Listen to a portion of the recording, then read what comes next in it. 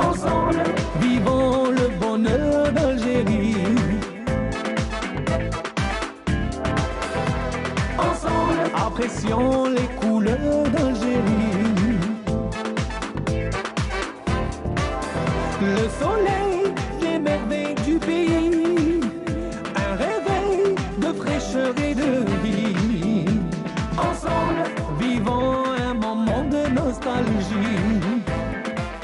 Mesdames, Mesdemoiselles, Messieurs, bonjour.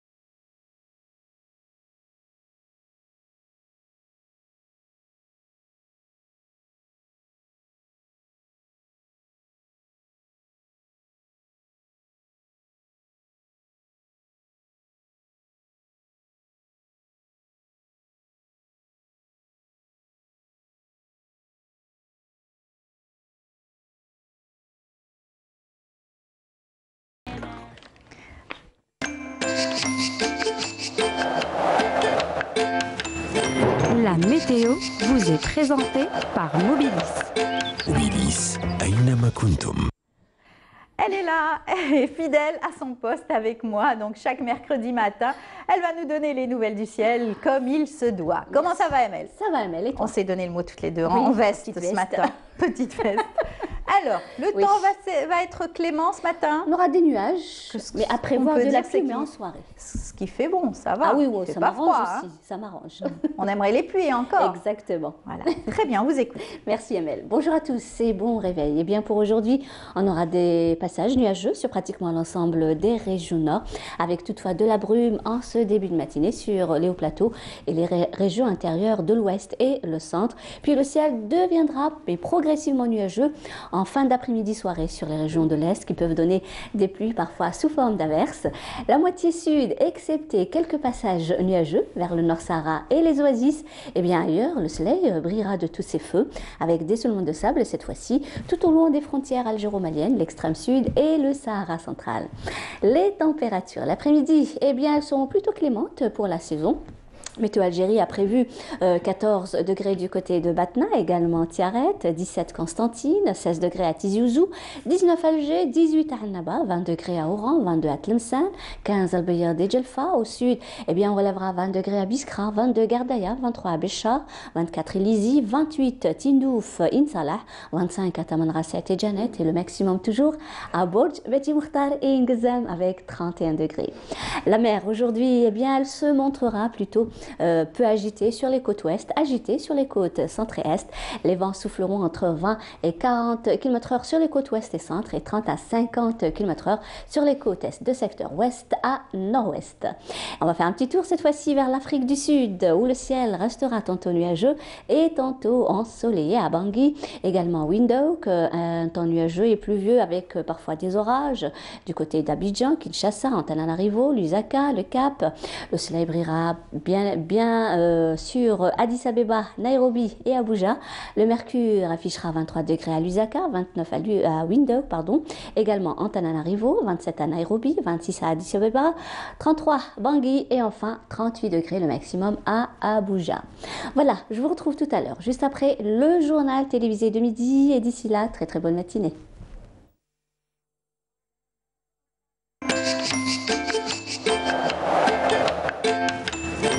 La météo vous est présentée par Mobilis.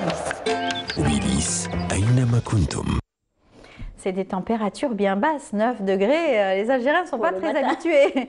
Et donc, on leur dit faites attention au coup de froid, n'est-ce pas? Parce qu'il y en a beaucoup qui ont le rhume hein, ce matin. Surtout notre caméra woman. Allez, en tout cas, on vous dit merci beaucoup. Merci Emel. ML, et puis bonne journée. Et à Également. tout à l'heure euh, pour d'autres bulletins météo, Inch'Allah. midi et 19h. Soyez prudents, bien sûr, sur les routes, on le dit toujours. Et on ne cessera de le dire encore le une dire, fois. ouais. Voilà, bonne journée. On va vous laisser repartir avec une belle chanson. Avec Shamsou, qui est donc Ah oui, du groupe. Pricklen, qui chante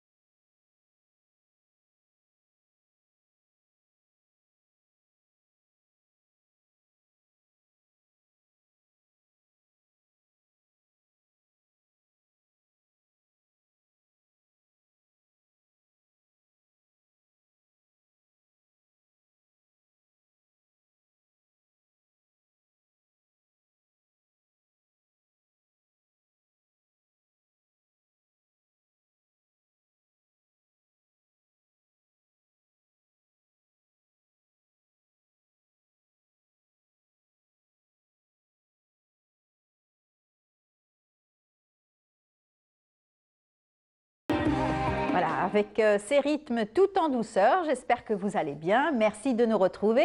Excellente matinée en notre compagnie. On commence comme il se doit, comme chaque mercredi matin, avec la rubrique environnement. Et Hamid Belkhassam est là parmi nous. Bonjour Hamid. Bonjour Amel, bonjour à tous. Ça va? Impeccable, Impeccable. ça marche. Alors un sujet qui est bien sûr d'actualité, comment faire? On a parlé souvent donc des comment recycler les déchets un peu gênants, encombrants. Aujourd'hui, c'est les dé- déchets industriels. Les déchets industriels, mes pistolets le matin, c'est dans le bonjour d'Algérie. Mhm. Et on dit bonjour aux, aux personnes qui viennent de se réveiller. Alors j'allais dire, le, le matelas sur lequel on dort Ah est oui. un. C'est de la mousse, c'est de la mousse, c'est de la chimie. Oui. Je ne sais pas comment on va essayer de s'en débarrasser. Oui. On l'utilise, à un moment donné, il faut le jeter. Il y a d'autres déchets, hein. Mhm. on va en parler. Et c'est pour cela qu'il y a aujourd'hui parmi nous Monsieur Malik Mimouni. Bonjour. Bonjour madame. Bienvenue parmi nous. Merci, Vous bon. êtes ingénieur en chimie industrielle et vous êtes donc euh, bien placé pour nous parler de tous ces encombrants. On va les appeler comme ça. Même dans la chimie, on peut, on peut dire des encombrants euh, Encombrant à et travers les, ces molécules-là qui Encombrant et dangereux. est dangereux surtout. Surtout dangereux. Euh, quand on parle du matelas, le matelas en lui-même n'est pas très dangereux Oui. et c'est un déchet euh, classé inerte. Mhm. Mais le produit pour faire du matelas est un déchet qui contient aussi des cyanures. Tout à fait. Voilà, alors on est bien réveillé. Ça, c'est juste un exemple, hein, le, ma- le Juste le matelas, pour euh, Par contre, on a introduire des le choses. sujet. On importe beaucoup de produits alimentaires, Mhm. des légumes secs, et lorsqu'ils sont avariés, on a 10 000 tonnes de... J'ai un chat dans la gorge, hein, Oui. désolé. Pardon. On fait quoi de ces 10 000 tonnes de lentilles, d'haricots, de céréales, Mhm. lorsqu'il y a des charançons dedans, lorsqu'ils sont avariés, ça pèse sur la facture de Mhm. neutralisation, de stockage. On en fait quoi, Monsieur Mimouni? C'est des déchets qui théoriquement devraient aller à l'incinération. Oui. Et, ça coûte cher, euh, l'incinération. ça coûte cher l'incinération, mais dans l'incinération, pour le- l'opérateur, il peut les sortir de sa comptabilité.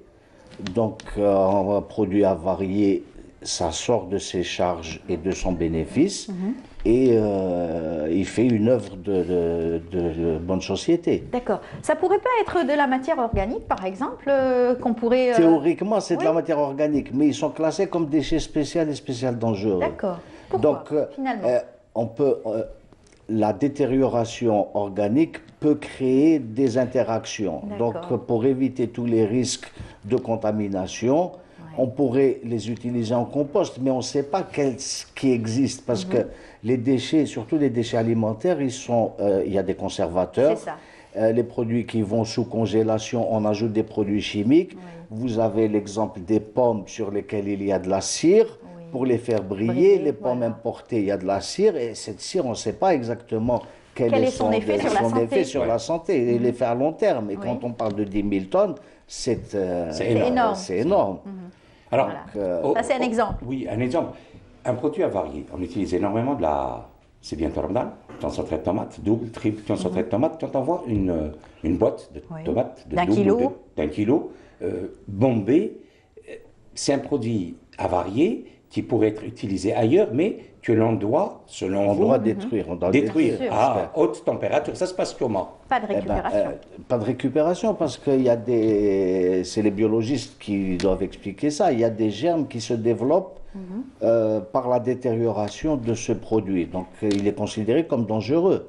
Ça. Il est considéré comme dangereux. Il est obligé, normalement, il devrait aller en incinération, pas en enfouissement. Oui. Pas en enfouissement. Et c'est très difficile justement de se débarrasser de ces matières qui sont aussi euh, gênantes et, et c'est la matière alimentaire. La matière alimentaire, mais le plus grand danger, c'est la matière chimique, le produit chimique. Vous avez des solvants Oui. qui sont stockés, vous avez des produits chimiques qu'on a importés pour fabriquer des peintures ou pour fabriquer euh, tout produit industriel et qui, euh, au-delà de leur date d'utilisation, où les usines ont fermé, il y a eu des faillites ou des changements d'activité, les produits sont stockés.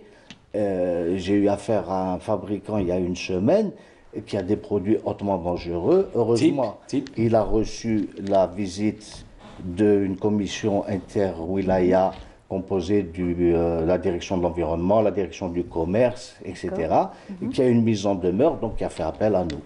Quel type de produits dangereux, de déchets dangereux avait ce monsieur? Cette entreprise On va pas le C'est dire, des, mais c'est des catalyseurs. c'est des catalyseurs. C'est des catalyseurs, donc des produits hautement réactifs. Oh là là. Très bien. Bah, ça aurait pu être des, des engrais, des fertilisants. Il y a les, non, Non, non, non, les fertilisants, c'est encore un autre. C'est un autre euh, chapitre. c'est un on c'est autre un apprend.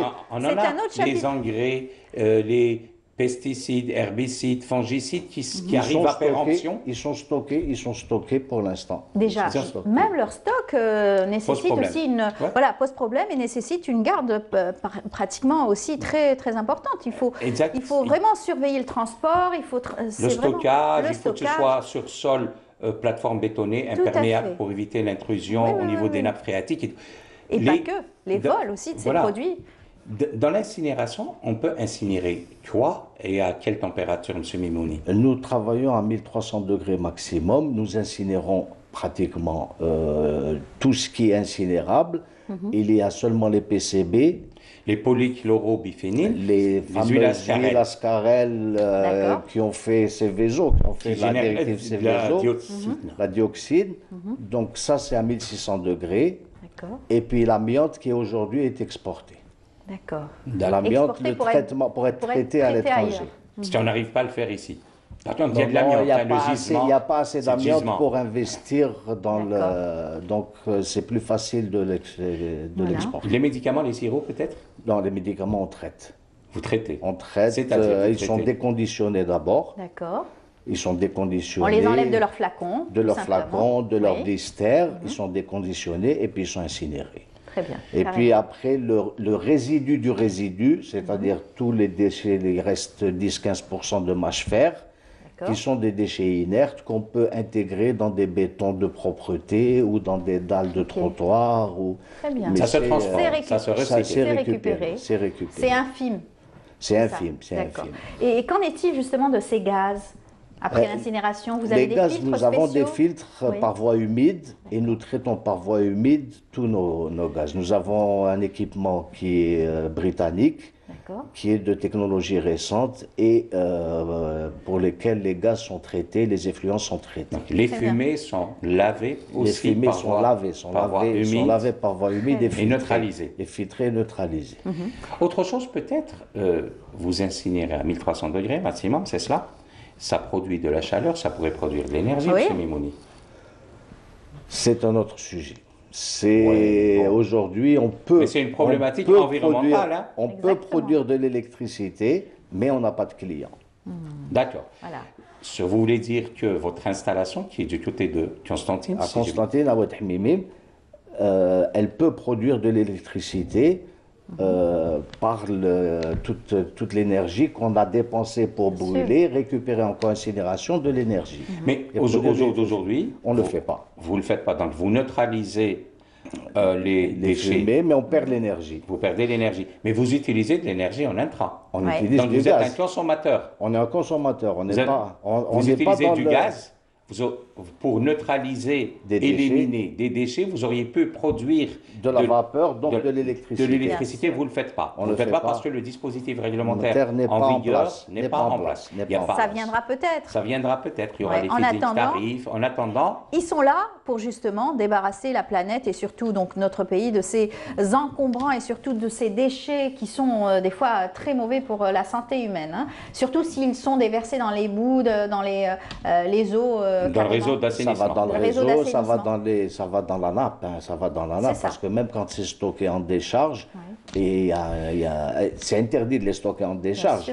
Mais quand ils sont, il y a des infiltrations, on ne sait pas quel est l'impact. hein. Y Alors a- aujourd'hui, je suis industriel, j'ai une usine, Oui. j'ai des déchets spéciaux, on peut les citer. J'ai envie de m'en débarrasser. Qu'est-ce que je gagne? Mis à part le côté euh, label et entreprise citoyenne. Je gagne quoi, moi, industriel, détenteur de déchets, à venir vous contacter, M. Mimouni, pour me débarrasser de ces déchets Vous payez plus la taxe sur le stockage, Qui Ah, est c'est de? qui est aujourd'hui de 26 000 dinars la tonne annuelle. Vous voulez dire pour chaque tonne de déchets De spéciaux déchets que j'ai chez moi, spécial ou spécial dangereux, vous avez euh, 26 000 dinars par an. par an de qui est cumulable C'est-à-dire si c'est deux ans, c'est 52 000 par an. dinars. et Bah c'est- oui. c'est par an. D'accord Et, puis, euh, euh, une fois qu'ils sont déclarés avariés, ils sortent de votre bilan fiscal. Bah oui. Ah d'accord, donc je paierai moins d'impôts en me débarrassant Euh, vous des déchets. ils, ils sortent, ils passent en charge. D'accord. bien. Il passe en charge. Donc Toutes on a tout à gagner passent en fait. Oui. On a tout à gagner. Mais seulement on- le coût peut-être de l'incinération en vous les ramenant Le coût de l'incinération, ça dépend du produit. En fait, c'est, euh, on n'a pas de coût prédéfini, c'est euh, c'est du sur-mesure. On a des prix sur mesure. On, Très bien. a des On va poser la question autrement peut-être, Amel. Est-ce que c'est une activité rentable? Euh, bien sûr. Bah Bien oui, sûr. Sinon, il n'y aurait pas d'entreprise. Non, non, Voilà. rentable, on ne Est-ce serait que- pas est-ce là. qu'elle est rentable et est-ce que vous êtes installé, vous, à Constantine, il y a 48 wilayas, il y a des difficultés à essayer de transporter. Vous n'allez pas ramener des, des déchets spéciaux de Béchar, d'Ilizi ou d'Oran pour les incinérer à... euh, À perte. oui, ouais. voilà. Non, en fait, euh, comme le, le- le traitement des déchets est réglementé, que le transport est réglementé, qu'on est accrédité sur 48 wilayas, on C'est vous-même. C'est nous-mêmes qui traitons, qui transportons. Oui.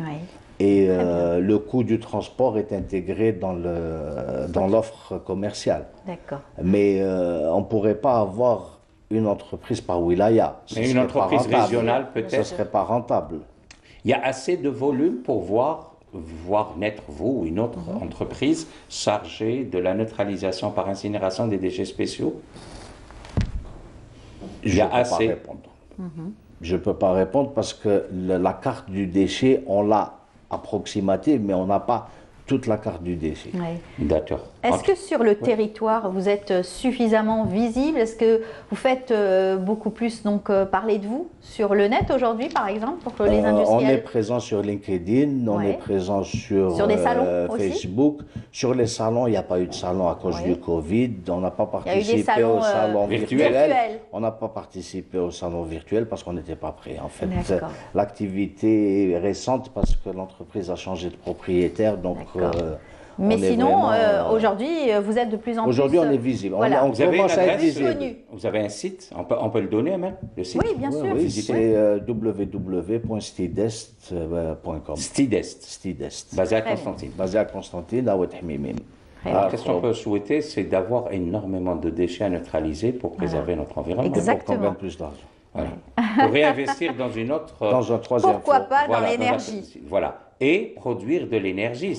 Et si, en produisant de l'énergie. Travailler en cy- cycle fermé. Cycle fermé, et ça va réduire euh, la Notre facture. euh, d'électricité. Et donc l'impact que- sur la planète. Donc c'est doublement performant. Voilà. C'est très bien en C'est tout cas. ce qu'on vous C'est une souhaite. bonne Voilà. nouvelle Ouais. pour voir euh, justement même ces déchets qui sont des déchets organiques ou des déchets donc euh, alimentaires peuvent être aussi incinérés parce qu'ils peuvent être aussi dangereux avec tous ces additifs, ces solvants, ces conservateurs qu'on ajoute, qui pourrait y avoir donc ces interactions euh, dans la nature savez, et en- créer bien sûr. euh, On a évité, on va aller vers euh, Ramadan Karim, où il y a beaucoup malheureusement de gaspillage alimentaire. Beaucoup. Il y a eu, ça fait des années déjà, le botulisme, Mhm. qu'on ne peut traiter qu'en neutralisant de la manière la plus forte qui soit, donc par incinération, parce que retrouver des germes de botulisme dans la Dans la nature, c'est pas si évident, il faut le brûler, euh, M. Mimouni. Bien sûr, c'était hautement dangereux. C'est mortel le botulisme. Voilà. Et Exactement. donc, euh, donc voilà, nous avons aujourd'hui un ministère chargé de la transition énergétique. Mhm. Nous avons une entreprise qui élimine les déchets qui pourraient produire de l'énergie. Bon, qu'est-ce qu'on peut leur souhaiter Et nous avons un ministère de l'Environnement qui fait euh, beaucoup, de- beaucoup pour l'environnement. Voilà. Et nous bien. avons un. Boursem qui nous, Avec euh, à chaque l'Agence fois, nationale des déchets, nous voilà. euh, présente un thème tout à fait intéressant qui justement va dans le sens de la protection de l'environnement. Merci beaucoup d'avoir été parmi, parmi nous ce matin. Merci à vous. Un dernier mot Bon courage à tout le monde. Et, euh, Ramenez-nous vos déchets, euh, on s'en chargera Très Ouais. bien. bien sûr. d'une manière très spéciale. Bien sûr. Voilà. bien sûr. Inch'Allah. Merci beaucoup, Merci à vous. À très bientôt, donc Mercredi. mercredi prochain, avec une autre thématique toujours euh, dans la protection de l'environnement. Bonne journée. Merci à vous Voilà. aussi. À très Merci bientôt. à tous. Restez avec nous, on va rester dans le domaine de l'environnement. On va, s'intéresser à la faune et à la flore du côté de Zeralda. C'est un reportage donc de Serida Mariouf. Une des principales missions du centre cinégétique de Zeralda Alger réside dans la réhabilitation du cerf de Barbarie, une espèce endémique de l'Afrique du Nord, et ce, en aménageant nombreux enclos dans l'établissement. Un noyau a été donc constitué depuis les années 90, suivi par des lâchers dans deux sites pilotes, à savoir Béjaïa et Skikda. Notre choix a, été fait sur, sur deux sites pilotes, euh, en l'occurrence la forêt de Lac Fadou, euh, dans la wilaya de Béjaïa, et le, massif forestier de Kolo dans la wilaya de Skikda. Euh, après avoir terminé tous les aménagements, tous les aménagements dans ces deux massifs forestiers, donc euh, au niveau de l'Akfado, nous avons quand même euh, clôturé un espace de 200 hectares avec des, amé- des aménagements spécifiques à l'intérieur pour, fa- pour faciliter le développement de l'espace à l'intérieur. Et dans le, massif de Kolo, nous avons quand même clôturé un, espace de 56 hectares avec tous les aménagements, tous les aménagements nécessaires.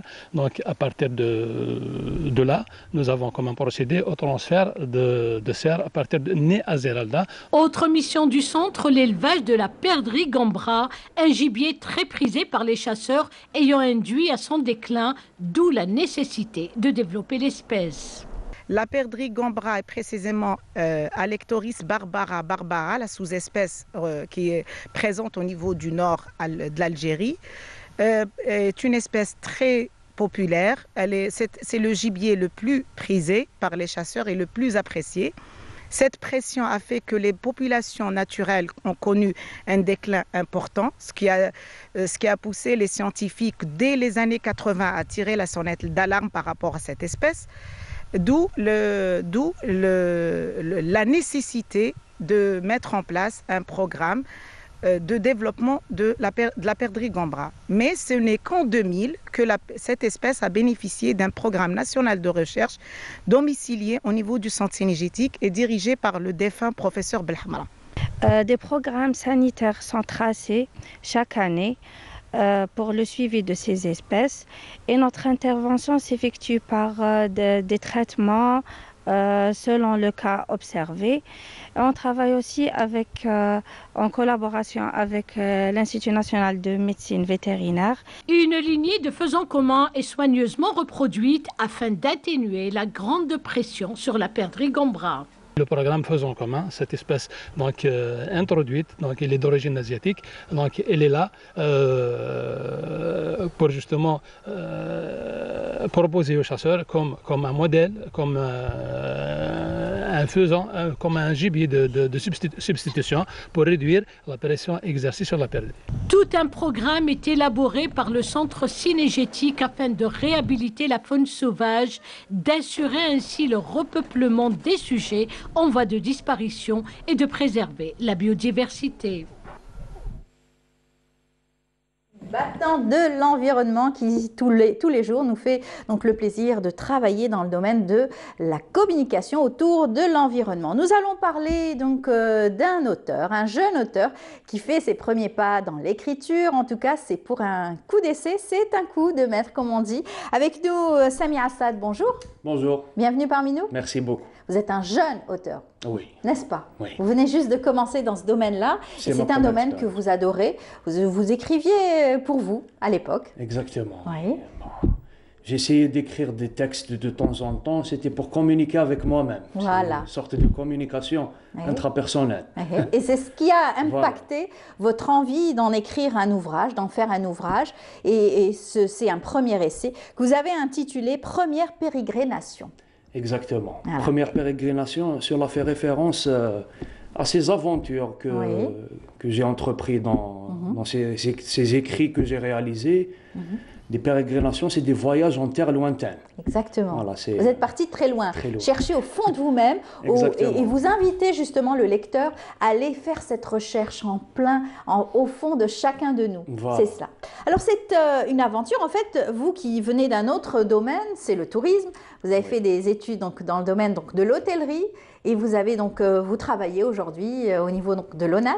Vous êtes dans le tourisme. Et vous avez hum, laissé pratiquement cette partie-là pour vous consacrer à l'être humain, la nature humaine aussi, surtout. Exactement, oui. Euh, L'être humain, c'est un être euh, social. C'est l'être Mhm. social par excellence. Oui. C'est tout à fait naturel que ce soit euh, l'une des grandes préoccupations de tout un chacun. Voilà, Ouais. Parce qu'on est amené à coexister, euh, à interagir au quotidien. Oui. Voilà, donc il faut essayer de- d'engranger un maximum de connaissances euh, en rapport à la société dans laquelle on vit, en rapport à l'anthropologie de manière générale, donc Mhm. à l'être humain, comment fonctionne l'être humain, Ouais. comment se, se constitue le psyché de l'être humain. Ouais. Voilà, Et aujourd'hui, vous pensez que cette, cet ouvrage est arrivé à point nommé parce que au, au temps, bien sûr, de cette pandémie, aujourd'hui, la course vers beaucoup de choses, on est pris par le temps, on on fait pas souvent des arrêts sur soi-même. Et vous pensez qu'aujourd'hui, on est euh, bouffé, comme on dit, par cette énergie. Voilà. Voilà, on est perdu dans ce monde. On est dans un, c'est ce que j'appelle Une l'uni- course. c'est ce que j'appelle l'univers burlesque, le Mhm. monde actuel, Ouais. parce que c'est un monde, euh, voilà, où il y a des pertes de valeur, Mhm. où les gens sont noyés dans le confort, euh, dans l'immobilisme, dans une euh, Oui. quête frénétique de, De l'image voilà, de- et du de- paraître. Voilà, de, du fait de profiter de l'instant uniquement. Mhm. Voilà, de profiter de- des plaisirs éphémères, Oui. sans véritablement prendre le temps d'avoir un certain recul sur les choses, Oui. sur leur existence, sur, ce, sur leur but dans la vie, sur ce qu'ils sont en train de faire. Beaucoup ne, ne se questionnent pas C'est ce la quête de l'humain. Voilà. La quête aujourd'hui de, donc de soi. Alors, vous avez donc euh, scindé votre euh, ouvrage en sept chapitres. Et le chapitre le plus important, donc c'est un petit peu philosophique euh, cet Oui. ouvrage, vous le consacrez à l'apnée. Oui. À l'apnée figuratif, mais au sens aussi euh, très virtuel, au sens aussi euh, euh, philosophique. hein. Exactement, oui. C'est essentiellement une substance Philosophique. philosophique. Mhm. Si j'ai laissé l'apnée en dernier lieu, Ouais. ah, c'est pour un but précis, ce n'est pas fortuit. Le chapitre le plus important. Voilà, je l'ai Mhm. laissé en dernier. Pourquoi? Parce que l'apnée, pour moi, c'est une méthode, c'est un paradigme, c'est une appréciation de la vie qui Mhm. est successive à l'éveil des consciences. Ouais. Voilà, il faut, il faut dans un premier temps essayer de mettre les mots sur sa propre condition, Mhm. de comprendre dans quel état nous sommes. C'est quelque chose qui vient après le mentorat. Voilà. Mhm. Il faut être assisté, il faut que quelqu'un vienne nous tirer de cette ignorance, de Ouais. cette euh, voilà, de ce. Et ce- si on devait le mettre dans le monde réel, euh, c'est-à-dire le figuratif, la- l'apnée, c'est exactement pareil. C'est une énorme concentration pour Voilà. arriver à un but. Euh, celui qui est excellé dans ce domaine-là, je ne sais pas si vous l'avez aussi beaucoup lu ou cherché autour donc, de Himoud Brahimi, Momo, qui était un des premiers apnéistes algériens, qui avait aussi eu un record du monde de l'apnée. Lui qui était aussi très philosophique. hein. Il, a, il avait cette, cette euh, spiritualité Cette aussi sérénité. cette sérénité en faisant justement de l'apnée.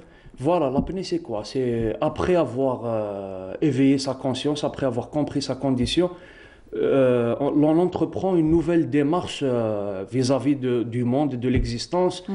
On essaie de, de comprendre ce qui, ce qui était euh, pour nous euh, un frein, ce qui nous conditionnait, ce qui nous emprisonnait, ce qui nous enfermait. Mhm. Ensuite, par l'apnée, on devient stratège. On devient stratège afin de, de mieux contribuer au monde.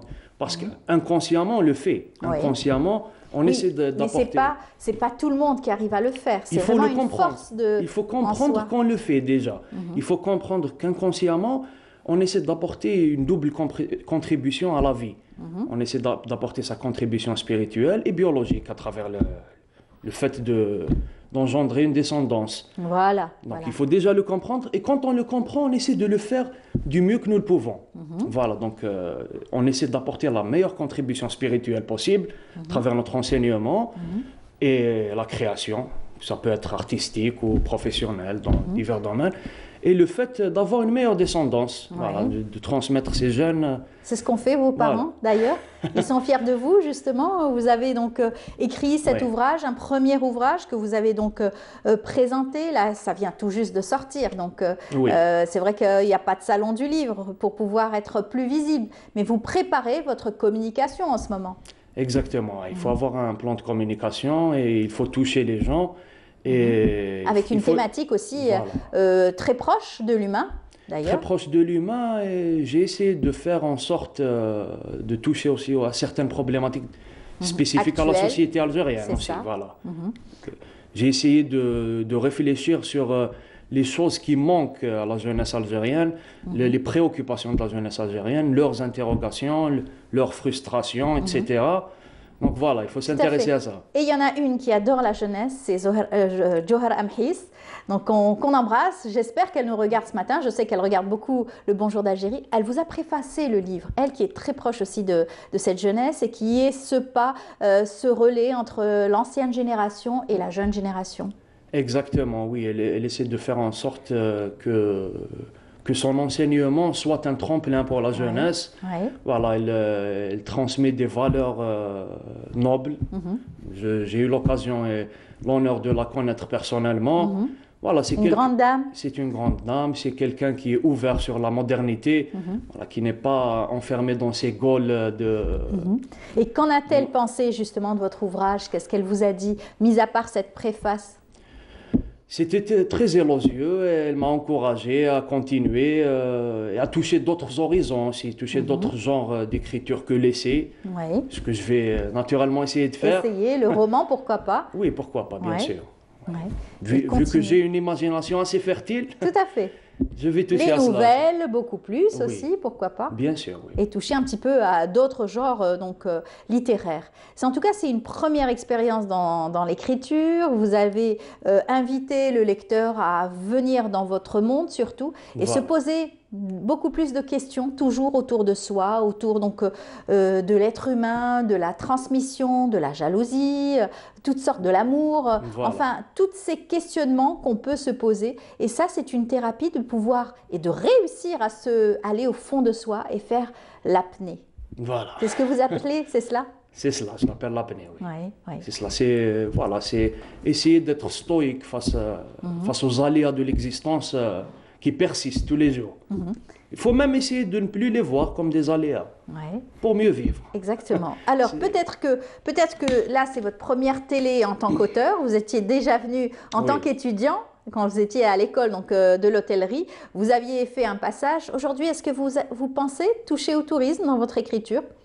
Bon, déjà, je l'ai fait avec le titre. C'est un clin d'œil aussi, euh, Ouais. première pérégrination.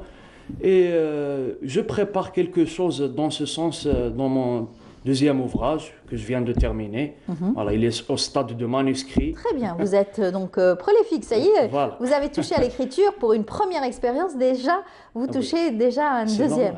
D'accord. On a parlé d'apnée, c'est ça l'apnée. Ouais. Voilà. Ouais. Très bien. Alors, on a un extrait, ça va vous faire peut-être plaisir.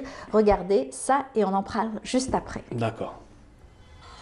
Voilà, on vous a proposé un extrait du film Le Grand Bleu.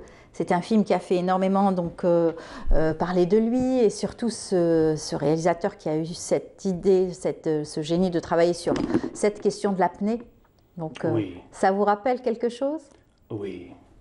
D'autant plus que c'est intéressant aussi de voir le dauphin. Mhm. Et par ailleurs, j'ai intégré beaucoup de- d'animaux dans le livre. Le parallèle avec les animaux Voilà, beaucoup de références euh, au monde animal, que ce soit à travers des animaux disparus, des animaux préhistoriques, des Mhm. animaux actuels, encore ça. mythologiques. Voilà, vous êtes parti de très loin, hein, dans les- chez nos ancêtres d'ailleurs, hein. rechercher cette spiritualité, ce calme et cette, ce ressourcement qui est donc dans l'apnée. Alors quand on voit l'extrait donc de ce film, on voit ce calme, cet univers, ce vide qu'il faut symbiose, faire. C'est une symbiose avec la nature et c'est ce que vous invitez à faire euh, euh, à tous vos lecteurs, Oui. c'est le vide. Euh, D'autant plus que notre cerveau actuel est adapté à une autre époque. C'est un Mhm. cerveau qui, euh, malgré l'avancée technologique euh, très rapide que nous sommes en train de vivre, il ne s'y accommode pas encore. Il faut encore de- des centaines, voire des milliers d'années d'évolution pour Mhm. qu'il puisse euh, Exactement, se programmer surtout, à cela. surtout vous dites euh, dans le chapitre l'apnée de l'homme véritable dans un monde énergivore. Voilà. Nous sommes dans un monde vraiment énergivore. hein. Nous sommes dans un monde énergivore et je parle aussi de l'homme véritable. Mhm. Voilà, parce que Oui. parce qu'actuellement, Et que vous invitez aussi à tous ce- ces lecteurs de, de se poser comme question. hein. Bien sûr. Cette, euh, cette finalité de l'hu- l'humanité, bien sûr, cette voilà, quête aussi. L'espèce. humaine. Voilà, c'est travailler pour que l'espèce humaine puisse continuer son hégémonie sur le monde. C'est vrai, c'est vrai. En tout cas, c'est Voilà. très intéressant de pouvoir donc lire votre euh, ouvrage, aller se perdre dans cette philosophie, parce que c'est vraiment une philosophie que vous invitez à découvrir. En tout cas, bonne chance pour euh, ce premier essai. Merci beaucoup. Voilà, et puis j'espère que vous reviendrez pour le deuxième. Avec grand plaisir. Et en attendant, bien sûr, la vente dédicace qui est bientôt programmée, j'espère. Oui, je, je programme une vente dédicace avec euh, mon éditeur, M. Abdelrahman Amalou, Mhm. que je salue chaleureusement. C'est quelqu'un qui, Qui m'a a accompagné, aidé. qui m'a Mhm. encouragé, qui a cru en moi, parce que pour, euh, Très important. pour éditer un premier livre, euh, ce n'est pas chose aisée dans le monde de, de C'est l'édition. sûr que le manuscrit euh, a dû lui, beaucoup lui plaire. Voilà, c'est Mhm. quelqu'un qui m'encourage et qui m'assiste euh, de la, ma- de la meilleure manière qui soit. Très bien. En tout je cas, le remercie. bonne chance. En attendant de vous voir euh, euh, dans d'autres médias, euh, bon courage. Merci Et beaucoup. puis à très très bientôt, puisque Merci. déjà le deuxième est finalisé. Voilà. Pratiquement. Voilà. À très bientôt. Un dernier mot peut-être? Je remercie mes parents, je salue mes parents, et tous mes amis Ouais. et mes collègues de l'ONAT aussi. Voilà. Et pourquoi pas un jour un livre sur le tourisme ici en Algérie. Avec Voilà. plaisir, oui. Très bien, à très bientôt. Merci, Merci. beaucoup Sami Assad. Je rappelle que vous êtes auteur, vous êtes aussi, vous travaillez dans le domaine du tourisme. À très bientôt et bon courage. Merci. Voilà, on continue notre programme. Je vous invite tout de suite à suivre ce reportage signé donc Samira Hadjarmer qui nous fait donc euh, un gros plan sur euh, le portrait d'un ébéniste.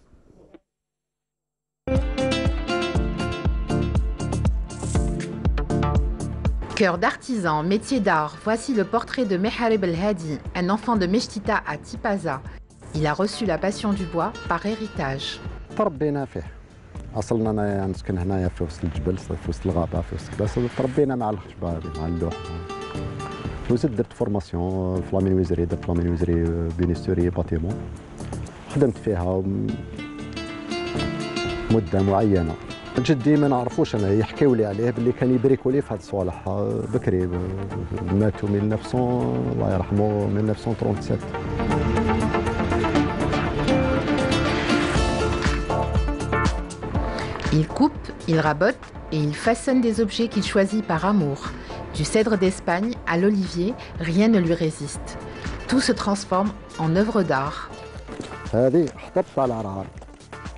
والله هذا يريزيستي يعيش بليس دو في. أكثر من 200 سنة يعيش عندنا هنايا. تخدم به تقدر تخدم به كل شيء. تخدم به واش تحب كاين الزيتون ثاني. زيتون فوالا. هذا نخدموا به طباصه نخدموا به الكيسان نخدموا به بزاف صوالح De la cuillère à la chaise berçante, de la vaisselle au mobilier, El Hadi Meharib nous raconte le processus de création.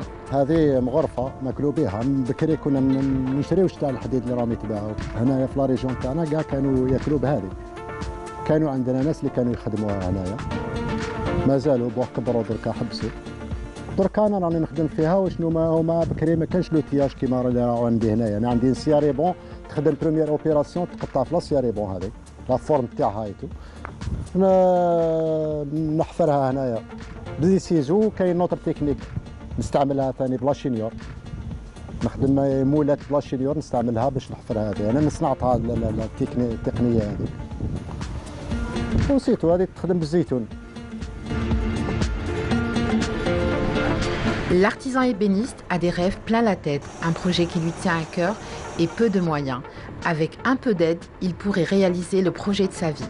ماذا بيا لونسي هذا البروجي تاعي باسكو هذا مشروع آه، بزاف مفيد صدر بزاف وانا نحبه ثاني ماذا بيا لونسيه يكون عندي موان باش نلونسيه سي ميو كيما راني هكا هكا مانيش نخدمو فريمون ب ب- مخصوص شويه قدرات باش نكون نكون اليز فيه نكون اليو باريزون قلت لك نخدم هذه في ساعة نولي نخدمها في خمس دقائق بالك. المهراز كيف كيف هذا؟ راني نخدمو بور لانستون بالك نجيب فيه النهار باش نفينيه كي يكون حطبة من الخشبايت وكذا باش يعاود يخرج هذا مهراز فيني. نهار باش نفينيه لو كان راهو عندي لوتياج كاين صوالح يعني تور نولي نخرج نخرجو في في في ساعة.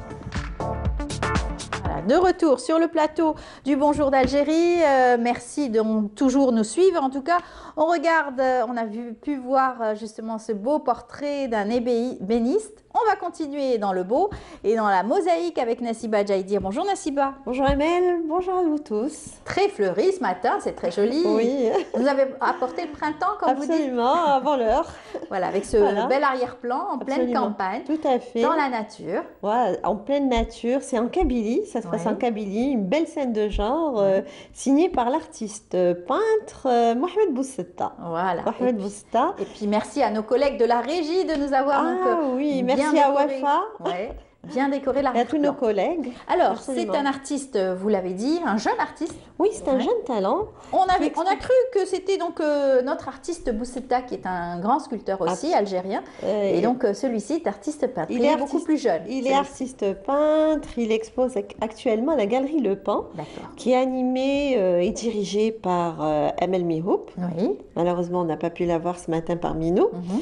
Et bon, c'est un petit peu la, euh, la relance de la Galerie euh, Le Pan. hein. Mhm. Donc, euh, ça fait quand même avec. euh, Avec par rapport à cette pandémie, la, pandémie. condé- la- la pandémie, Tout donc il y a eu fer- fermeture, ensuite réouverture. Euh, Il y avait une très belle exposition euh, consacrée à l'Algérie à travers sa lumière, ses traditions, ses ambiances. Oui. C'était une collective. Elle a fermé pendant quelques temps et là, c'est pour de bon. Inch'Allah, j'espère. euh, Il n'y aura pas encore une nouvelle fermeture de la Oui, galerie. oui. Donc, c'est la relance des activités. Il y a tout un programme Mhm. riche, diversifié, en perspective. Donc, euh, honneur à Mohamed Boussita qui expose euh, cette fois-ci à la Galerie Le Pan, une, une galerie qui a ouvert ses portes il y a deux ans de cela. Mhm. Alors, qui est Mohamed Boussita? C'est un jeune artiste qui vit et travaille à Bomerdes, plus précisément dans la localité de C'est Mustafa. Et donc, il y a eu un petit parcours euh, classique, euh, des aptitudes au dessin dès sa tendre enfance. Euh, au collège, il s'est vraiment éclaté. euh, il dessinait, il, avait, il adorait illustrer ses cahiers de récitation.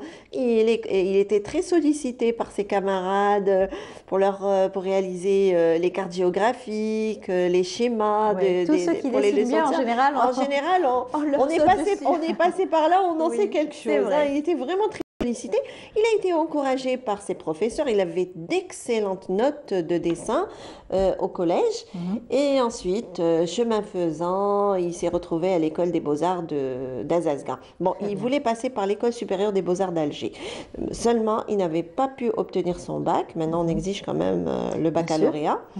Et, et là, donc, il s'est rabattu sur l'école des beaux-arts de- de- d'Azazga Mhm. qui est située euh, donc euh, il qui est très belle école qui est située à la, sur les hauteurs de la ville d'Alsasga, à la lisière de la forêt d'Iakuren. Je ne sais pas Mmh. oui, si vous avez eu l'occasion de passer par la forêt d'Iakuren, qui est Non, magnifique. pas encore. Donc, euh, très beau décor, en pleine nature. Mhm. euh, et il a fait ses classes là-bas. C'est une école euh, quand même qui a ouvert ses portes il y a quelques années. Mhm. C'est issu de la restructuration de l'École nationale des beaux-arts, parce qu'avant on avait l'École nationale des beaux-arts.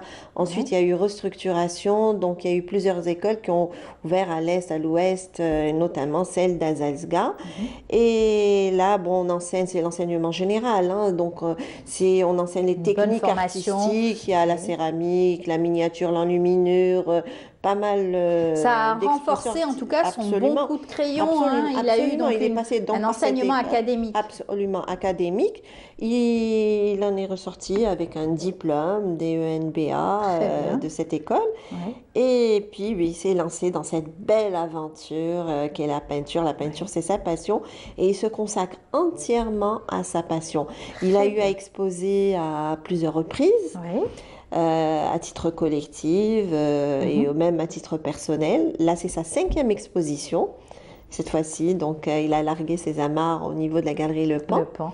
Et on va voir tout cela en images. Oui, euh, Alors, on est- je, on- peux, ouais, je allez-y, peux terminer juste oui, avant de sûr. voir le reportage. Et Mhm. après, on, on Je suis rebondira. tellement pressée de voir les Ah, d'accord. Voilà, alors euh, voilà, donc il y a eu ces, ces expositions. Il a participé aussi à plusieurs salons.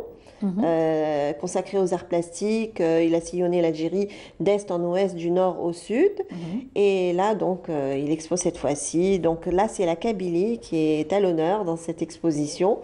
Et c'est un grand amoureux de la Kabylie. Il a eu Mhm. Et à des traditions, Et des traditions, surtout. Mhm. Il a eu euh, à, à séjourner à plusieurs reprises hein, dans les montagnes de la Kabylie. Il a fait des séjours. Donc, il est revenu avec des croquis, des esquisses.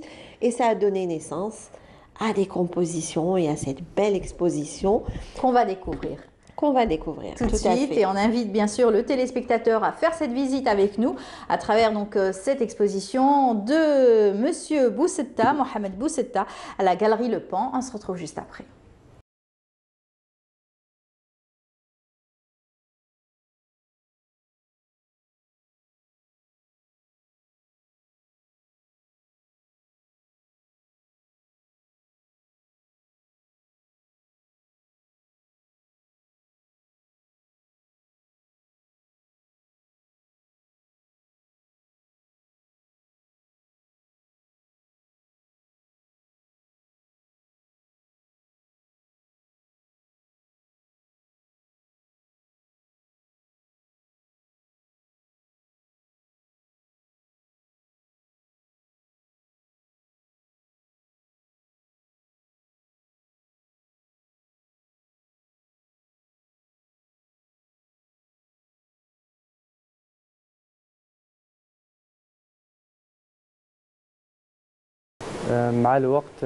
Depuis que j'étais enfant, j'ai toujours éprouvé une attirance pour le dessin.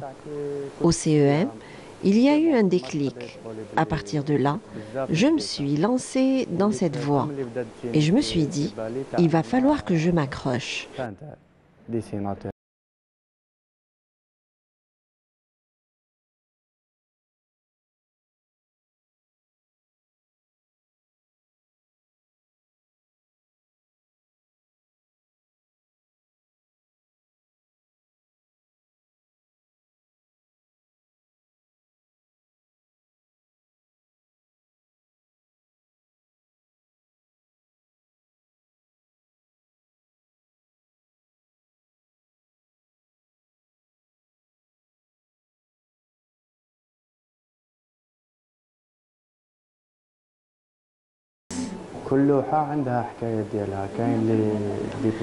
Chacune de ces œuvres d'art a sa petite histoire.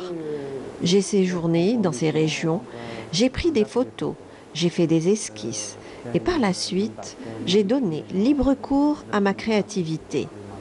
Dans cette exposition, ce sont autant de souvenirs et de coups de cœur en Kabylie.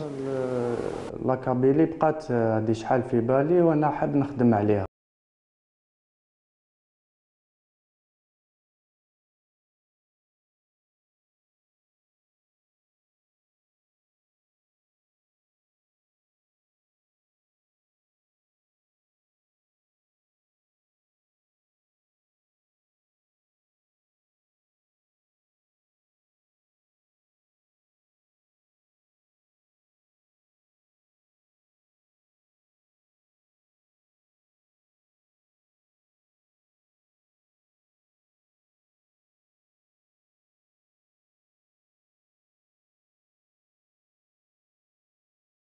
Donc euh, un jeune talent euh, qui est diplômé de l'école de. Il est dans le mouvement expressionnisme. Donc euh, ces tableaux, il y a une très belle lumière dans ces tableaux, une palette très vive, donc les couleurs du patrimoine très présentes et aussi en fait ce, qui est magnifique dans son travail. Par exemple, il y a la, la montagne neigeuse, je vous donne comme exemple. Donc, on a l'impression que c'est une photo réelle, qu'on est à l'extérieur de la galerie, mais après, c'est vraiment c'est les touches, euh, c'est des touches.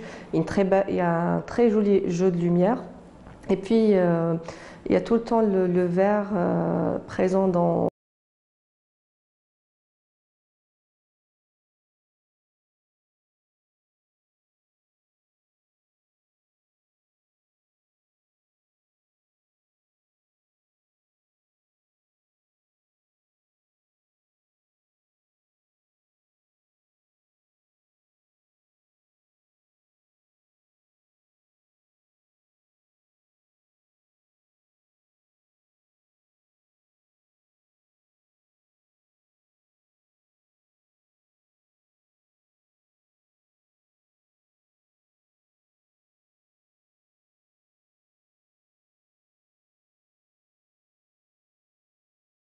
Voilà, un beau voyage à travers donc la Kabylie avec bien sûr ses rythmes et cette voix de Idir Laïrahmou. Oui, Laïrahmou Sendo qui a bercé euh, ouais. notre enfance, notre jeunesse. Et euh, qui a bercé aussi notre artiste, Et puisque notre- on voit, c'est vrai, vous l'avez dit tout à l'heure, c'est vraiment des scènes de vie, donc de la Kabylie profonde, à travers la tradition, euh, aussi euh, ce patrimoine aussi Oui, un très riche riche. patrimoine à Mhm. préserver, à sauvegarder. On a vu beaucoup de scènes de genre.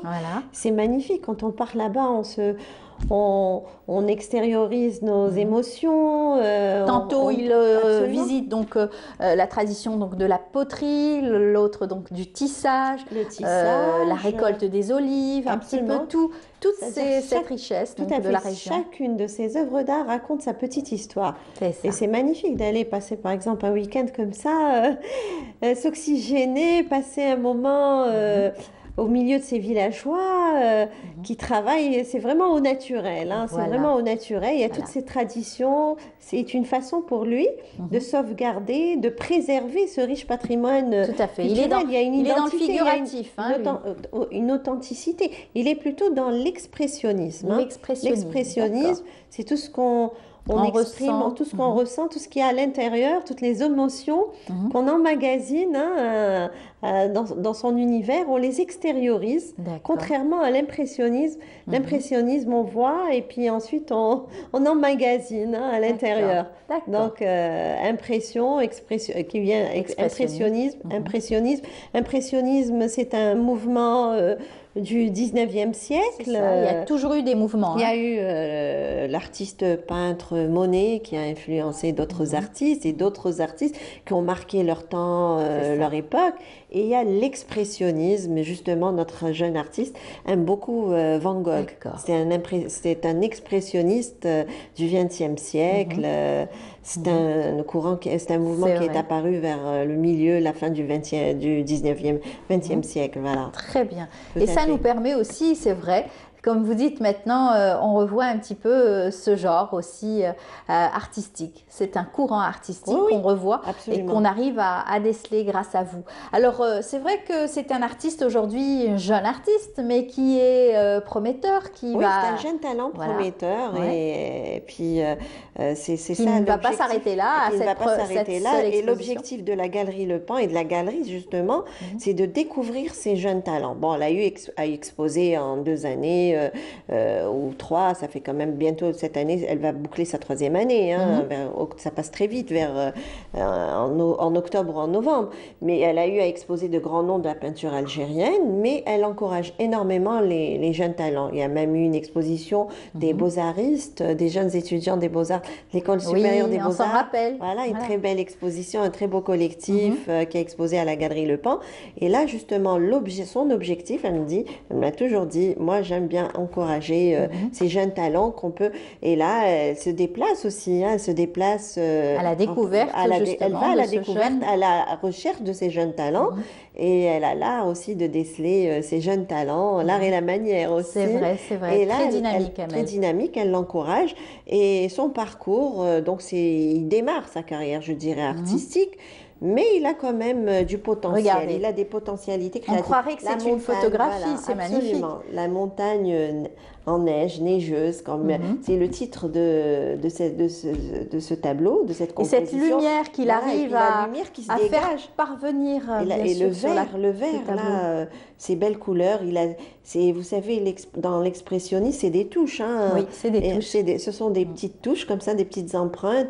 euh, une- et c'est l'expressionnisme, donc on, on ne, y a pas, les contours ne sont pas dessinés, c'est pas le réalisme Comme le- visuel, on le rendu de ce qu'on voit, Mhm. mais de ce qu'on ressent. Voilà. Là, c'est la potière en très belle euh, tenue traditionnelle, en robe kabyle.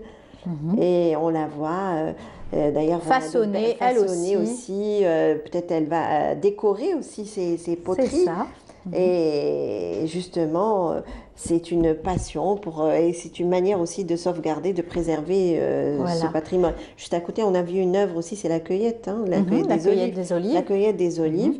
Non, franchement, c'est de belles scènes de genre. Et, les, et là, il est allé, il a, pris, il a fait des croquis, il a, pris des esquisses, il a fait des esquisses Mhm. pour entamer ses compositions. Des fois, il est, carrément, il prend des photos. Bien sûr. Et il adore la Kabylie, il en a fait sa thématique euh, et ça a donné euh, une belle Et exposition. vous le disiez, c'est pas sa première exposition. Non, non, ce n'est pas Donc, sa première euh, exposition. J'imagine qu'il a exploré un petit peu, un oui, petit il a peu eu plusieurs il a- il régions, exposé- peut-être? Oui, parce qu'il a participé à une vingtaine de salons, Mhm. De salons consacrés aux arts plastiques. Ça lui a permis de sillonner euh, l'Algérie. Je l'ai dit tout à l'heure, d'est en ouest, du nord au sud. Ça, dans des salons consacrés aux Mhm. arts plastiques, ça leur permet, euh, ça permet aux artistes de, de se rencontrer, d'échanger des idées, des expériences, Mhm.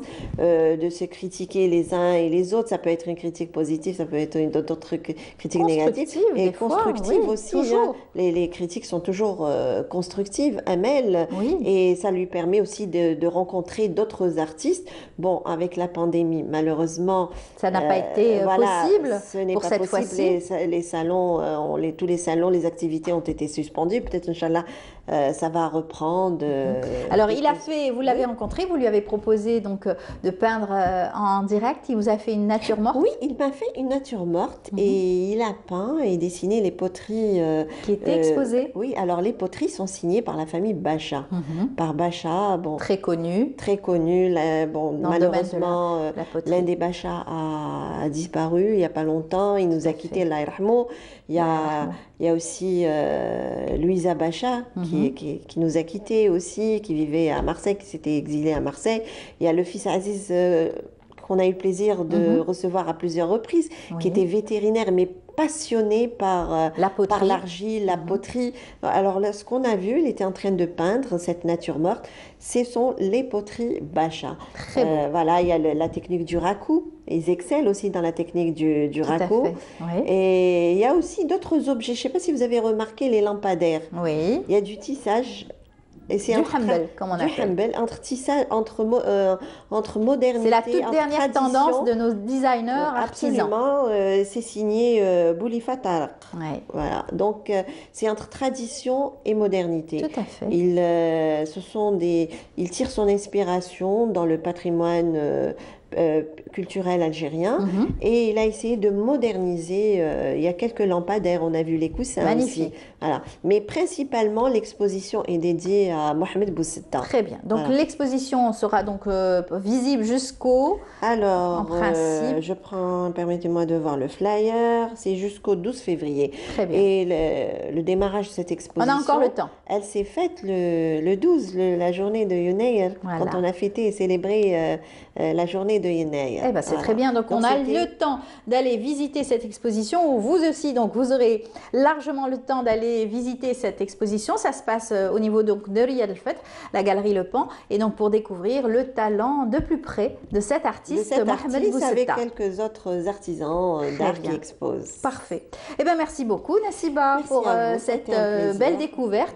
On lui souhaite plein de belles choses à cet artiste et j'espère qu'on aura l'occasion de voir d'autres expositions un petit peu partout. Inch'Allah, J'espère. Voilà. À très bientôt, mercredi prochain. Mercredi Le rendez-vous est déjà pris. thématique, Très bien. On continue. On va s'intéresser au sport et au football plus précisément.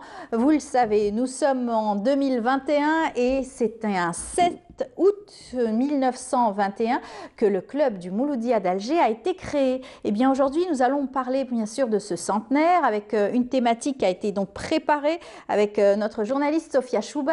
Elle va commencer par justement s'intéresser aux fameux graffitis, des dessins qui ont aussi euh, beaucoup orné les murs donc de la de, plus précisément qui sont amoureux donc de ce club de football. Regardez, on se retrouve juste après.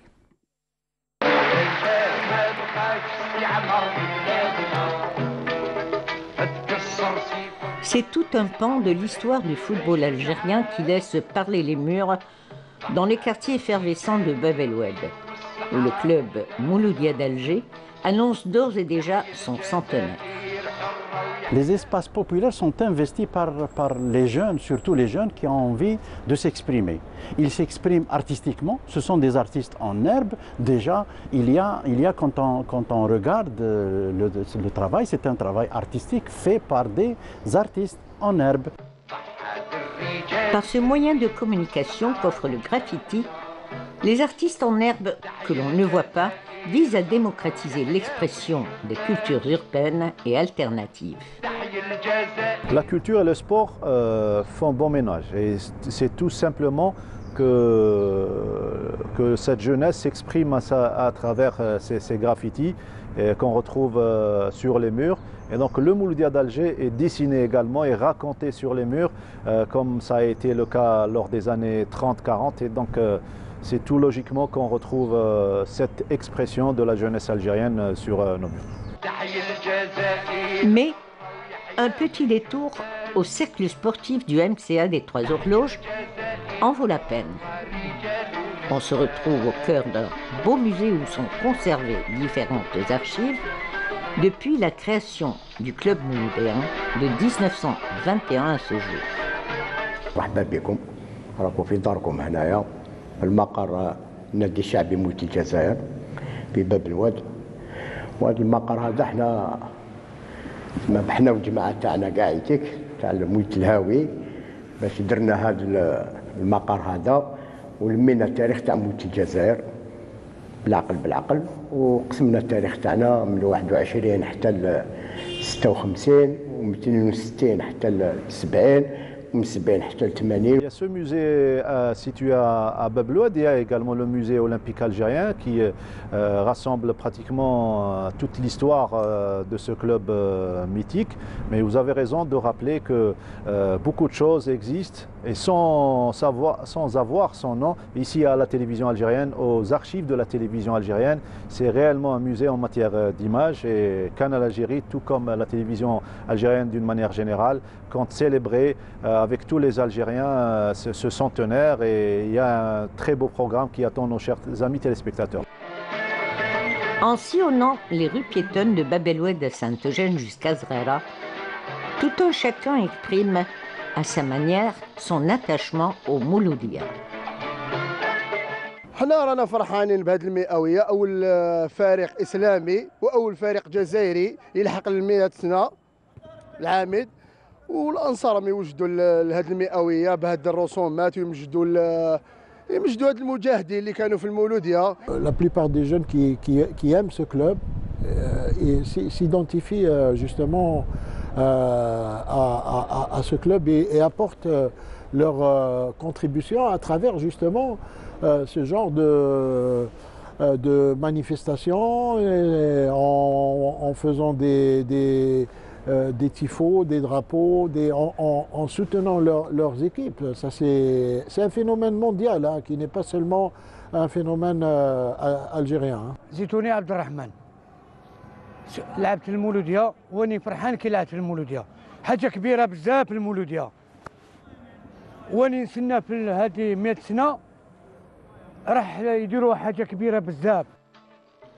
L'ambiance du centenaire marqué de rouge et de vert est toute palpable, aussi bien chez les initiés à la chose footballistique que chez les amoureux des arts pluridisciplinaires.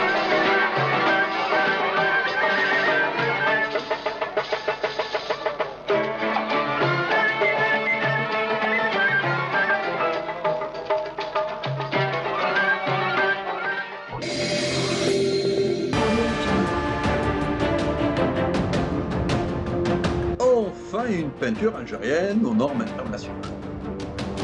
Tous vos besoins en peinture intérieure, peinture métal, préparation de support ou peinture extérieure, choisissez Coral Peinture.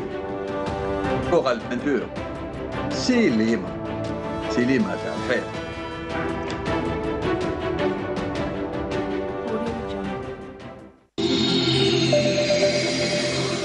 De retour sur le plateau, après bien sûr ce reportage de Sofia Chouban qui nous montrait les rues d'Alger, plus précisément en Babloued, voir un petit peu tout ce qui était tagué hein, pour euh, justement montrer son attachement et son amour à son club préféré, le Mouloudia d'Alger. Nous allons en parler en détail avec surtout euh, un joueur qui était aussi, qui tient donc, euh, qui porte le Mouloudia au cœur bien sûr. Il s'agit de Abdenour Kawa. Bonjour. Bonjour. Bienvenue parmi nous. Très gentil de m'avoir invité et surtout pour parler du Mouloudia. Oui, c'est un peu ma un vie. club, hein. c'est Ouais, votre vie. oui. Vous êtes aujourd'hui consultant à Canal Algérie avec notre ami Mortar Hamani, C'est et bien exact. de nos collègues. Et euh, vous, vous parlez souvent donc, euh, de, de football et surtout, bien sûr, des clubs actuels. Mais le Mouloudia reste euh, une page historique pour tout le peuple algérien. Ah bah, c'est l'histoire du football algérien. hein. Après l'équipe du FLN, bien sûr. Non, non, avant, Avant, l'équipe du FLN, puisqu'elle a été créée en 1921. Oui. D'ailleurs, pas mal de joueurs de l'équipe FLN avaient rejoint le, le Mouloudia après l'indépendance. Euh, c'est vrai que le Mouloudia fait, fait partie des, pratiquement des plus anciens clubs euh, en, en Afrique. hein. Exact. Ouais. Euh, donc, euh, c'est une fierté pour moi d'avoir été d'abord euh, jouer au Mouloudia, ensuite de les entraîner, puisque j'ai j'ai eu l'occasion d'entraîner l'équipe pendant quelques années. Aujourd'hui, on est à la veille du centenaire. Oui. C'est un événement exceptionnel. Euh, 100 ans, c'est pratiquement toute une histoire. D'autant plus que le Mouloudia avait été créé en, en- en 21 par des enfants de la Casbah. euh, qui, étaient, qui étaient jeunes, qui n'étaient même pas majeurs. Ils ont eu l'idée de, de créer un club. Euh, pourquoi la- l'avoir créé à l'époque? Puisque bon, euh, c'est Abdelrahman Aouf qui l'avait créé en compagnie de, de, de certains de, ses amis. Et son idée était d'abord non seulement de, quand on voit les couleurs du Mouloudia, c'est les couleurs de l'Algérie, Oui. d'une part, et d'autre part, il voulait que, que la jeunesse algérienne, puisque l'indigène à, à- à l'époque, euh, on était considérés comme euh, Des indigènes. des indigènes. Ouais, et on n'avait pas le droit donc Voilà. d'avoir une équipe, de pouvoir jouer au football. Donc, donc même quand à, à la création du Mouloudia, l'é- l'équipe du Mouloudia ne, peut- ne pouvait pas avoir que des indigènes. Donc il fallait avoir des, joueurs. Et puis on a eu des étrangers, parmi eux un Argentin, Albor, qui, qui, a été, qui a joué quand même pas mal d'années au Mouloudia.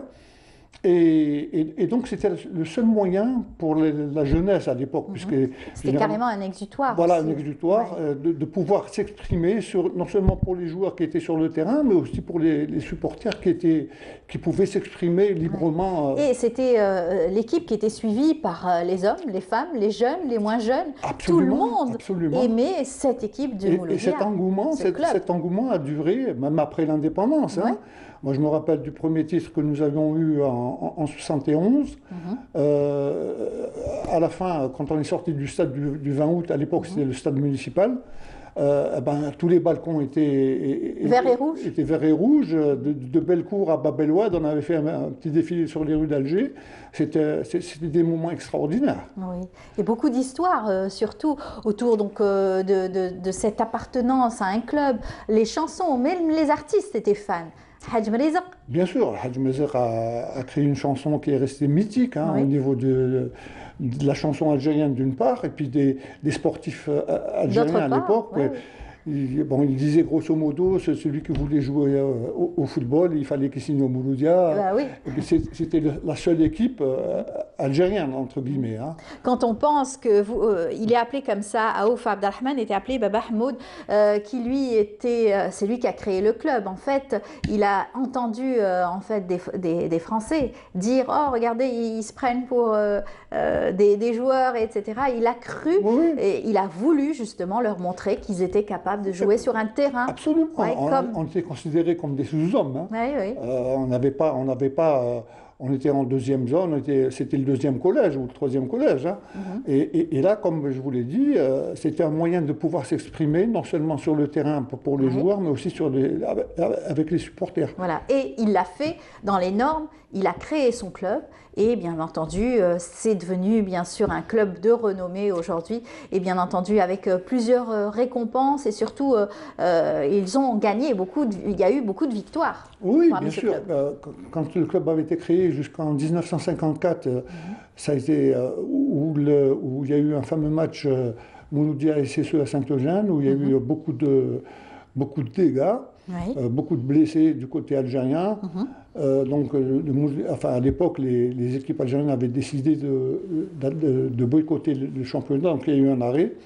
En 1962, quand le Mouloudia, après l'indépendance, donc le premier championnat, ils étaient en division d'honneur, euh, mhm. ils ont pu accéder avec non seulement des joueurs qui faisaient partie de l'équipe du Mouloudia avant l'indépendance, mhm. et puis renforcé par quelques joueurs qui étaient venus, et principalement des joueurs de l'équipe FNN, l'image de, de Bouker, Waliken, oui, et, et, à partir de là, bon, il y a eu une, une, génération qui est passée avant la fameuse, ce qu'on appelle entre guillemets la génération 76. Mhm. Euh, C'était des joueurs qui étaient euh, pétris de qualité, mais malheureusement qui n'avaient pas réussi à avoir de titre. Mhm. ni de. C'est dommage. C'est dommage. Euh, D'ailleurs, nous, quand, on était jeunes, on les voyait jouer, on ne pensait jamais prendre leur place, parce qu'on on, les considérait comme de grandes vedettes. Bon, on a eu la chance de pouvoir jouer par la suite et de remporter.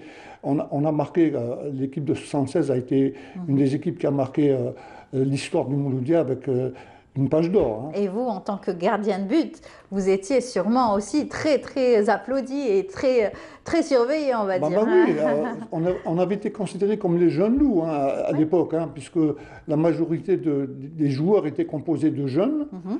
euh, le premier titre que nous avions eu en 71, euh, mhm. la majorité des joueurs avaient, avaient 21, 22 ans. Oui.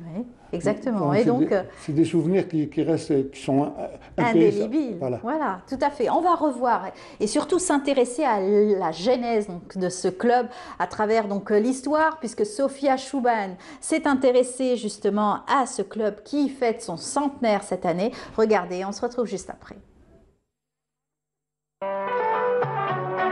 En 1921, est né un club de football dans un contexte colonial où le sport pour les Algériens était encore à ses premiers balbutiements. Le Mouloudia d'Alger est né durant euh, la période coloniale.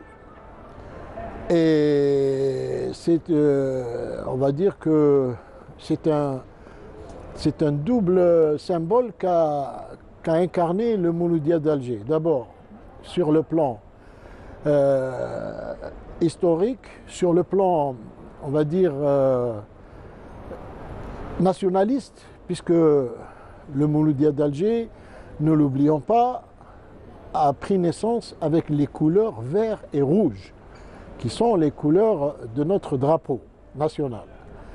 Et, dans le sigle du Mouloudia d'Alger, il y avait également l'étoile et le croissant, Il y a beaucoup de débats autour des, de la naissance des clubs et de leur histoire. Mais disons administrativement parlant, euh, le Mouloudia reste le doyen des clubs algériens puisqu'il est né euh, avec ses papiers en 1921, plus exactement le 31 juillet. Ensuite, ça a coïncidé avec la, célébration du Maulid Nabi Sharif le 7 août, d'où euh, cette date qui est restée longtemps retenue par les historiens, par les supporters, par tous les Mouloudiens. Et la transcription administrative a été faite euh, en octobre 1921. C'est ce qui a donné le nom Mouloudia. Et après, il y a eu bien sûr beaucoup de clubs euh, qui ont pris euh, cette appellation après le Mouloudia, qui a été le précurseur hein, de cette appellation Mouloudia. Aujourd'hui, on trouve des Mouloudia à travers tout le territoire national, du nord au sud, d'est en ouest. Partout où vous allez, il y a des Mouloudia et c'est une fierté pour le football national et également une fierté pour euh, ceux qui ont fondé ce grand club. Dès lors, un nouveau staff de dirigeants va mettre sur rail une formation sportive de foot, ce qui va inscrire dans la légende le club qui va accumuler des titres et des trophées plus tard. L'année 2021 est importante pour euh, le doyen des clubs algériens, des clubs musulmans algériens, à savoir le Moudia d'Alger, qui fêtera le 7 août, plus exactement son centenaire.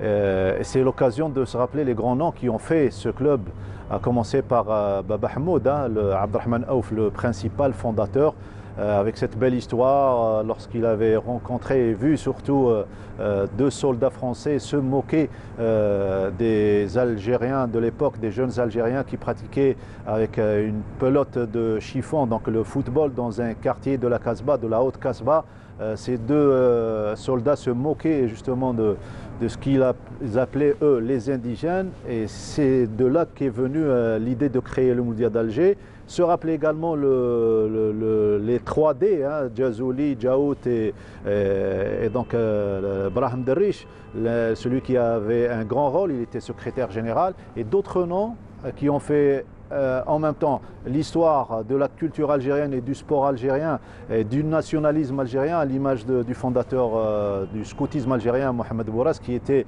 euh, un athlète du Mouloudia d'Alger.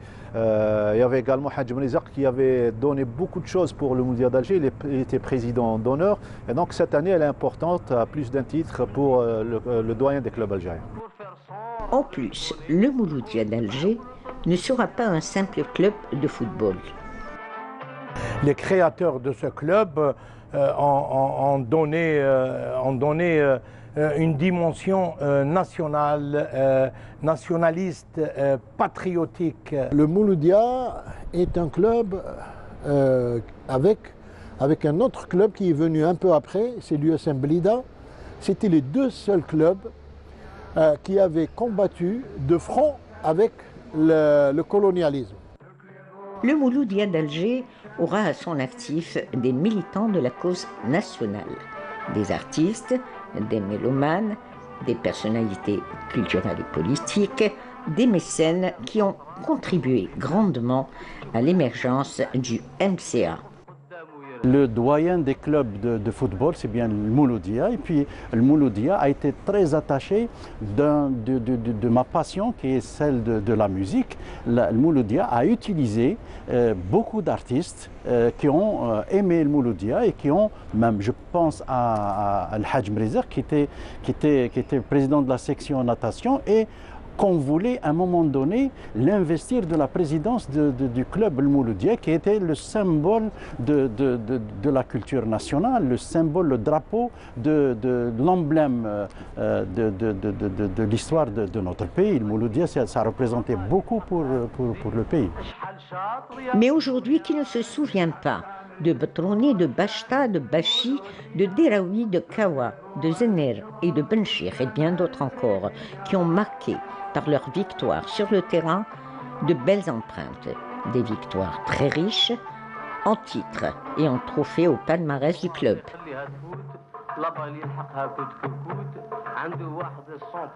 Comme l'a dit Sophia Chouban, c'est vrai que très riche en trophées et surtout en palmarès hein, du club. Donc euh, il y a eu donc six euh, victoires, c'est ça. Il y a eu donc euh, celui donc remporté pour la première fois le triplé en 1976. on a été la première équipe africaine à, remporter un triplé. Hein. il n'y avait pas beaucoup d'équipes à travers le monde qui avaient, je crois qu'il y en avait cinq ou six. Donc on était parmi les premiers clubs à avoir réussi un, triplé. Exactement. Six autres titres de champion. Euh, vous avez remporté, remporté huit fois, huit fois, euh, huit reprises la Coupe d'Algérie de football, c'était 2015-2016, et bien sûr euh, aussi remporté le club champion en 1976. Donc vous avez toujours, vous toujours parti de l'avant pour essayer d'avoir ces victoires et les, les garder, les conserver surtout ces titres. Oui, malheureusement, il y a eu une période où Bon, il y a eu la réforme d'une part, mhm. et donc il y a eu euh, quelque chose qui a été cassé par rapport à, tout ce qu'avait vécu le Mouloudia depuis sa création jusqu'en 77, puisque c'était une famille, le Mouloudia. Quand on était, il n'y avait pas d'argent, il n'y avait absolument rien. Mhm. Donc il y avait l'amour du club.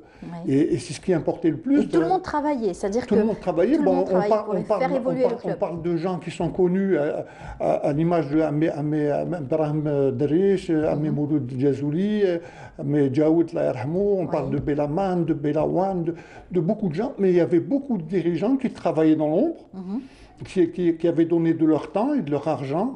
Euh, des mécènes anonymes aussi. Voilà, des, mécènes anonymes qui aidaient dans la mesure où ils pouvaient aider le club. Mhm. Et vous m'avez parlé de ce pharmacien qui avait beaucoup euh, soutenu financièrement l'équipe. Absolument, c'était Ben Habib qui, qui, a été le, président qui a duré le plus longtemps au Mouloudia, mhm. puisqu'il avait, il avait été président du Mouloudia après les années 40 jusqu'à l'arrêt du Mouloudia en 54, et il a repris en 72 jusqu'en 65. On n'en parle pas beaucoup, on n'en parle pas beaucoup parce que le Mouloudi à l'époque n'avait pas de titre. Donc euh, ce qu'on met, en, met en avant, c'est un peu les, les, dirigeants qui ont, qui ont, qui ont brillé par, par, par les titres du Mouloudia. en Oui, oui, bien, mais, a- nous avons un devoir de mémoire, justement à l'occasion du centenaire, centenaire. de pouvoir euh, lister pratiquement tous les gens qui ont œuvré pour, le, pour, la cause du Mouloudia, et il y en a. Et il y en a, exactement. Ce n'est plus, euh, bien sûr, euh, la même chose qu'aujourd'hui, euh, avec les clubs qui sont financés par euh, des entreprises, par des, surtout des producteurs, plutôt des, enfin, des personnes qui arrivent à financer, bien sûr, des clubs aujourd'hui. hein. Oui, mais, mais le football a changé énormément depuis, de- si, si on se réfère de- avant l'indépendance et, et- et juste au lendemain de l'indépendance. C'est vrai qu'aujourd'hui, nous sommes professionnels. Le Mhm. football algérien est professionnel, bon, mais ça reste entre guillemets. C'est vrai que maintenant, il y a une manne financière euh, très Au importante. niveau mondial. Hein. Oui, mais, Ouais. mais là, au- pra- pratiquement au Mouloudia, à l'image de quelques clubs, Ouais. euh, une, donc, euh, une, une manne financière assez conséquente. Et, mais ce que je regrette aujourd'hui, Ouais. c'est qu'il y, a y a quelque chose qui s'est cassé par rapport à, à la ville du Mouloudia d'avant la réforme. Absolument. Tout à fait. Alors, Mourtar nous avait proposé justement une interview exclusive. C'était donc euh, Aouf Abdelrahman donc, qui, qui témoigne. C'est lui le fondateur, bien sûr, de ce club, Baba Hamoud. On va l'écouter tout de suite. هي غابت يلزم لها تكون جمعية واحدة أخرى. تما باش كونا المولودية. سست المولودية لسبعة عود 1921 اللي كانوا معايا السكرتير خوجة محسوب سعدون علال. ومسعودان مصطفى. والخزناجي تريزوريي باي عبد الرحمن والغرس محمد Et le, Et c'est donc de retour. Ça a été très court. C'est vrai qu'on en a vu donc les deux. Euh, il y a eu le fondateur, M. Aouf, bien et, sûr. et et- Allah Voilà, c'était le premier. Euh, c'est très important justement de revoir ces images pour nous. Ça nous permet aussi de comprendre l'évolution bien sûr de ce club et savez, surtout a- sa descendance après. Absolument. Il y a- je me rappelle de, de, de Ahmed Brahim Darjesh Allah yarhamou, qui était un dirigeant très influent au niveau du Mouloudia. Euh, on- on- on- il nous a obligés à, à connaître l'histoire du Mouloudia, euh, de, de sa création, des différents C'est martyrs. très important. Voilà, des différents martyrs euh, du Mouloudia, des anciens joueurs, des anciens dirigeants qui Mhm. avaient rejoint le maquis. Euh, et, et il nous disait une chose qui est restée un peu gravée dans ma, dans ma mémoire. Nous disait- on était juniors à l'époque. hein, il nous disait Vous n'allez pas tous être euh, titulaires en, en- en équipe senior, Mhm. mais par contre, le jour où vous quitterez Mouloudia, vous serez formés en tant qu'homme. Ah ben oui. Et ça, c'est très important. C'est une éducation, c'est tout une comme malheureusement, ça s'est perdu. Mal- ça malheureusement, perdu. ça s'est perdu. Voilà, c'est dommage. En tout cas, le club est toujours là et bien sûr, euh, ça sera célébré, son centenaire sera célébré le 5 juillet, Inch'Allah, 2021. Inch'Allah. Et puis on aura l'occasion d'en parler tout au long de l'année, donc vous Absolument, reviendrez probablement. En tout cas, c'est un club qui a enfanté aussi euh, beaucoup donc, de gloire et ça, donne, ça reste toujours un exemple pour la jeunesse algérienne. Merci beaucoup, Monsieur C'est Kawa. moi qui vous remercie Voilà, c'est toujours un plaisir d'être, euh, de vous avoir sur nos plateaux. C'est gentil à vous. À très Merci. bientôt. À très bientôt. Voilà, on est arrivé à la fin de l'émission. Merci à vous tous de nous avoir suivis. Excellente euh, journée et merci à toute l'équipe du Bonjour d'Algérie. Au revoir. À demain. On a de très solides